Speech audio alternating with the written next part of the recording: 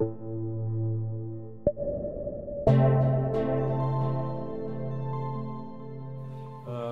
there are traditional ideas of uh, eco house designs, and there was uh, also a development in architecture that is looking at architecture in a different way.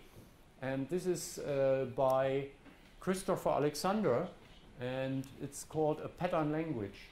And this is a different approach to design of houses, and this is especially good for uh, eco towns because the center of this approach is is this alive?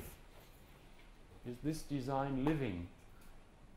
Is it beautiful? Is it working out in all aspects?